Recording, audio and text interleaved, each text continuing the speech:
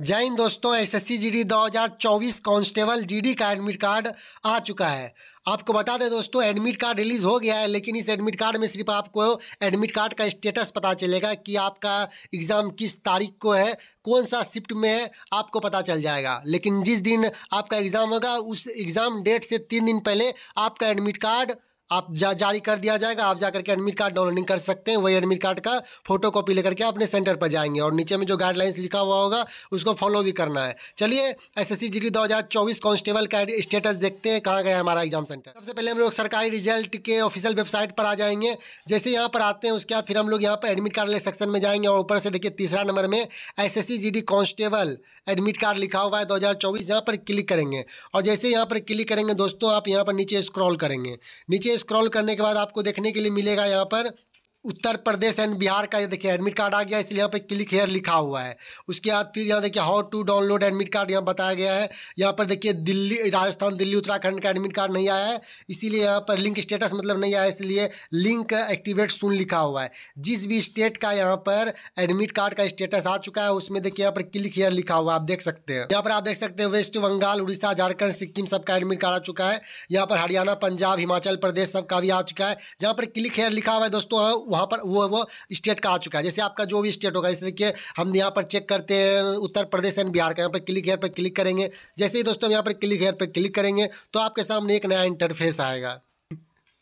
हाँ देखिए दोस्तों, यहाँ पर वेरीफाई स्टेटस सक्सेसफुल हो गया। यहाँ पर staff commission staff selection commission का साइट खुल करके आया। हम लोग दोस्तों, यहाँ पर तीन तरीका से है ना एप्लीकेशन स्टेटस देख सकते हैं एडमिट कार्ड स्टेटस देख सकते हैं। एक में रजिस्ट्रेशन आई डाल के देख सकते हैं और दूसरा में roll number date of birth सब डाल के देख सकते हैं। लेकिन सबसे आसान तरीका दोस्तों, ये वाला होता है नेम डालिए, चार चार डिजिट करेक्टर डालना है। फ़र्स्ट फोर करेक्टर डालना है अपना अपना नेम का, या पापा, फिर पापा के नाम का four first four digit character डालना है। उसके बाद ये दोस्तों, यहाँ पर आपको डेट ऑफ़ बर्थ डालना है। उसके बाद दोस्तों आपको यहाँ पर एग्ज़ाम सिटी में आपको जो आप फ़र्स्ट चॉइस लिए थे, वो एग्ज़ाम सिटी डालना है। उसके बाद फिर यहाँ पर आपको नंबर जोड़ने और घटाने के लिए देगा। उस, जो भी घटा पटा करके आप यहाँ पे सर्च पर क्लिक कर दीजिएगा। तो चलिए हम यहाँ पर करके दिखाते हैं।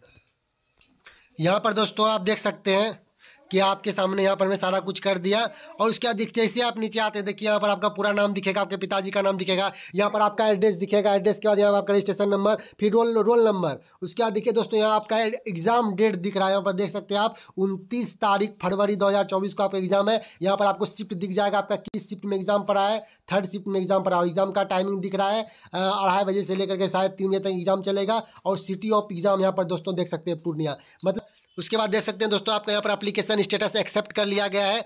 और इसी तरह से दोस्तों, आप भी अपना एग्जामिनेशन सेंटर देख सकते हैं। आपका जो स्टेट है, आप स्टेट वाइज वहाँ पर जाइएगा आप क्लिक पे क्लिक कीजिएगा। इसी तरह से अपने नेम का फ़र्स्ट चार डिजिट दीजिएगा, अपने पापा का फ़र्स्ट चार डिजिट दीजिएगा और अपना डेट ऑफ़ बर्थ दीजिएगा। उसके बाद जैसे ही सर्च पर क्लिक करते हैं, इस तरह से आपके सामने आपका एडमिट कार्ड स्टेटस खुल कर आ जाएगा।